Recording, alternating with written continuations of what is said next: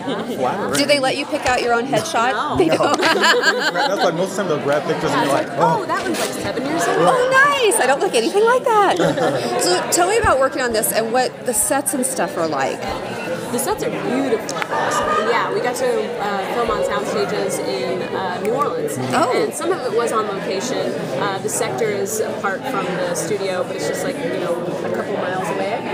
Um, but the sector was definitely my favorite. Yeah, she got to do a lot of filming in the sector. It's like where they keep all the Atrians, all the aliens. Yeah. And um, it looks really cool. Like, yeah, it looks even cooler though In post. In post Yeah. because they make it even bigger. The 1st Uh-huh. time that I saw it, I was like, "Oh my god, that's amazing!" And then obviously they like do cool things like recreate the school, so it's like everything that looks like actual school is just like walls with no ceilings. It's just really cool. Yeah. Really cool sets. So, what was the general appeal of this? I mean, was it because it's a sci-fi? Because it's what? I mean, what was it? Well, I know for me, I'm a huge sci-fi Mhm, me fan. too. So the opportunity to not only be in a sci-fi show but get to play an alien was so. That is cool. And mine, uh, mine connects. a lot of people know I'm a fan of Will Smith. So my goal was to be sci-fi and something comedic, and they said, "Oh, comedic character in a sci-fi." Ding. Check. So it was yeah, and I think they're really capitalizing on the sci-fi aspect. And Definitely. this is like the first year that um, CW is embracing sci-fi like crazy. It's awesome. Yeah, it seems like the other shows have been more fantasy or comic Mm-hmm. This is the first like. It's been a while since we've had aliens in the heck general yeah. media, so it's always been vampires or zombies, and so I think it's really fun to be one of the first shows in this round. Of course, there have been other shows with aliens and stuff, but in this round, now that it's coming back, I like being part of that new swell. So, the tattoos. They do that every time you get on set, or is there like something already made up? Uh, they do have parts of it already made up. They're transfers. Um, so, like, you know, when you're a little kid and you have those fake tattoos and you Yeah. put water on it, they're like that. Um, mine took a little bit longer than everyone else's because mine were all very small individual pieces because mine were very delicate.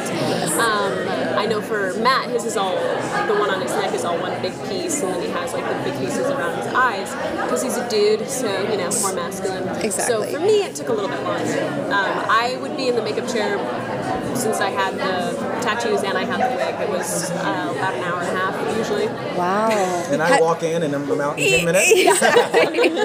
How do you pass your time in the makeup chair? Um, I play a lot of Plants vs Zombies on my phone. yes, you do. Nice. Yeah, it's my favorite game ever. Are you usually pretty good? I mean, like, are you patient with the people that are applying stuff? Oh yeah, my Okay. best friend's a makeup artist, and so she's told me so many horror stories about you know diva actors and stuff, and I definitely never ever ever want to be affiliated with that. So I try to be as patient as kind as possible. And when it comes with the the rest of the cast, just like and just the feel of the set in general, I mean, has to turn into just like one big family, like just Definitely. Literally just talked about that in the other room. Yeah, we were just talking about how awesome it was that we just genuinely love everybody on set. Like it's so much fun. We all get along really well, and um, I know. It's rare. Yeah. It's rare because we've all worked different sets and like been with different actors. um, but no, this one like everybody has their own agenda. We come together, work, we go off. People have different relationships and and, and Yeah. different aspirations, music and everything. We come together and we just hang out. It's really like a, a sorority fraternity. this is it. what Yeah. should and what should we uh, expect in the in the upcoming episodes? Like, Every episode gets even more action based. There's Okay. so many, and everybody kind of gets pulled in. It's like it sort of starts out with just Roman and Emery as part of the action, and then you know uh, Drake gets pulled in, and Teri gets pulled in, and by the end of it, all of us are part of the big plot. So it's really exciting. Ooh, A lot Kathy. more romance. A lot more Thank- romance. Okay.